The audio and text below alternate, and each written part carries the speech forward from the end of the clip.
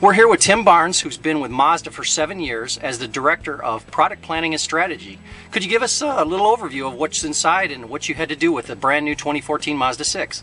Absolutely, I'd be happy to. Um, for the Mazda 6, this is really a critical vehicle for us because we really need to establish ourselves um, in as a key player and an aspirational player in the, the key CD segment in the U.S. market. It's the second largest market in the industry and it's probably one of the most competitive.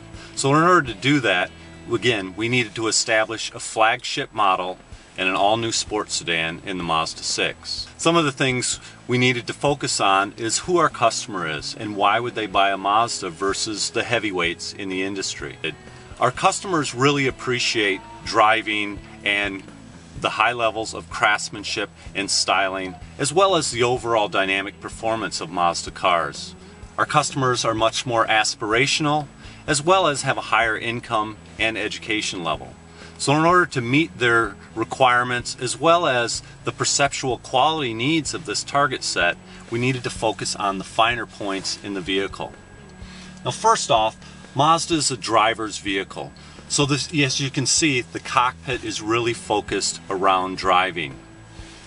It starts with the leather wrapped steering wheel. Again, this is standard on 100% of the Mazda 6s that we will offer.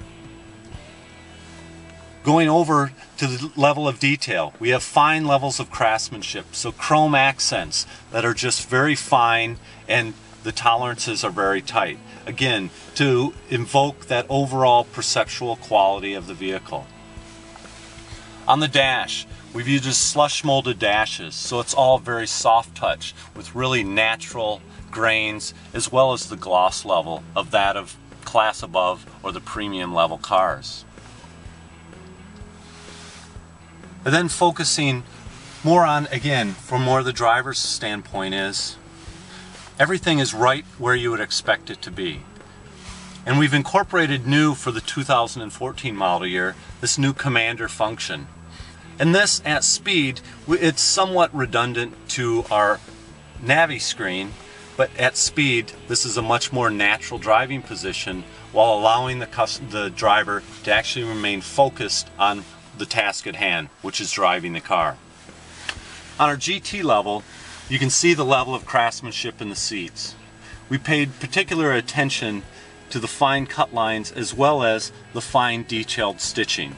We have a red accent stitch all the way around, double crossed stitch through the seats.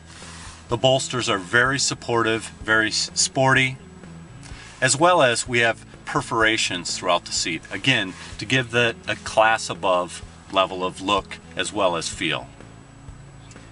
Tim, thank you very much for your time, and uh, I appreciate being here at the 2014 Mazda 6 Short Lead in Austin, Texas.